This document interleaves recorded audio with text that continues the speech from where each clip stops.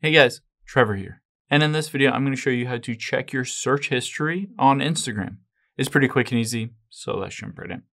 Now let's open up the Instagram app here on your iPhone, Android, it doesn't matter. Now let's tap on the search icon at the bottom left. And then all you have to do is tap on the search bar at the top. This will show you all of your searches that you have recently made on Instagram. However, there's another place to look as well if you don't see them on here. If you do see them on here, you can hit see all and you can choose to delete one of them or hit the clear all button if you wanted to delete your entire search history. Now, if you don't see what you're looking for there, there's another place to look. Let's tap your profile icon at the bottom right and then tap the three lines at the top right.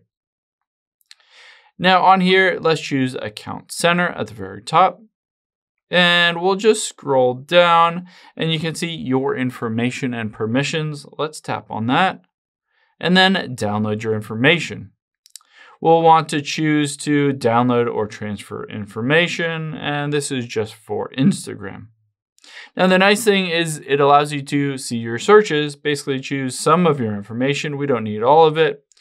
And we can scroll through here and you can see if you scroll through here, there is recent searches. So keep in mind, even though you remove them from the app itself, it's still in the database from Instagram.